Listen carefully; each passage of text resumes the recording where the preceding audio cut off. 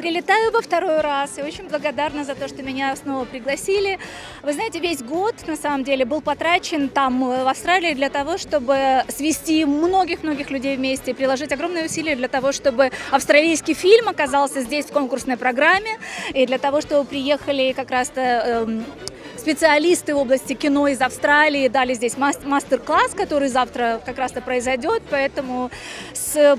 чувством исполненного долга я здесь нахожусь, потому что и фильм, и люди из Австралии э, приехали, и я надеюсь, что из года в год нас просто будет здесь появляться все больше и больше. Ну, вы знаете, летела я сюда на Амурскую осень из Сиднея, из Австралии намного дольше, чем подбирала наряд, но поскольку для меня это большая честь здесь оказаться, то наряд как раз австралийского дизайнера э, Лиса Хау, э, она китайского происхождения, но очень знаменита в Австралии, и поэтому я считала, что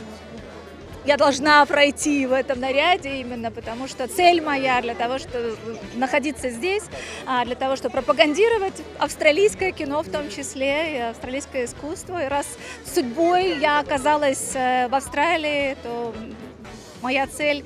нахождения здесь – это свести эти две страны.